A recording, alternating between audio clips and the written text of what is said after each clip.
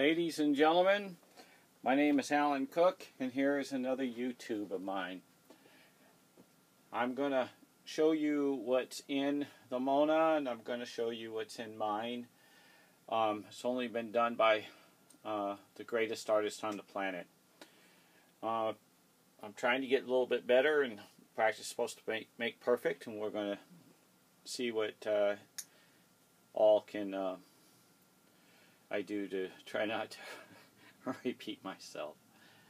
For those who are just joining in, uh, this is the Mona Lisa. And this is the lost painting of Leonardo da Vinci. 55 solid years.